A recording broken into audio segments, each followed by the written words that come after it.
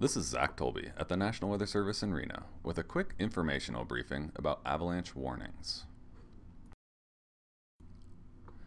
As of 2014, the National Weather Service in Reno will issue avalanche warnings when one of the U.S. National Forest Service avalanche centers issue an avalanche advisory of high or extreme danger. This graph shows the U.S. avalanche fatalities by season since 1950.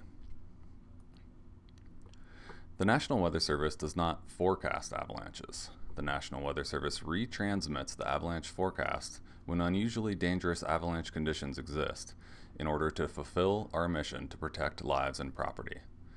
Warnings apply only to backcountry areas outside of established ski areas and describe general avalanche conditions. Local variations always occur. The National Weather Service in Reno transmits avalanche advisories from two U.S. Forest Service avalanche centers in the Sierra Nevada in the form of avalanche warnings. The information in these statements is provided by the U.S. Forest Service, which is responsible for its content. Avalanche forecasts for the Central Sierra around the Lake Tahoe region are produced by the Sierra Avalanche Center. The Sierra Avalanche Center forecasts avalanche conditions between Yuba Pass and Ebbets Pass in the Central Sierra.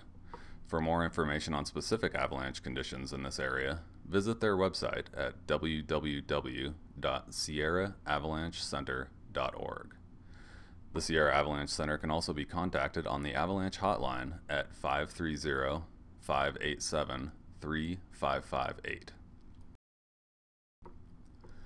Avalanche forecasts for the eastern Sierra around the Mono County region are produced by the Eastern Sierra Avalanche Center.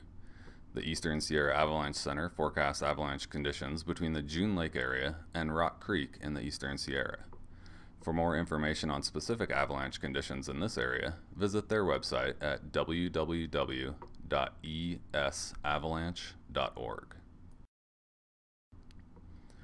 This informational briefing was created to clarify why the National Weather Service issues avalanche warnings. Remember, the National Weather Service does not forecast avalanche conditions.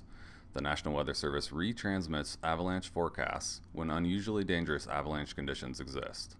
For current weather information, go to www.weather.gov/reno. Thank you for listening.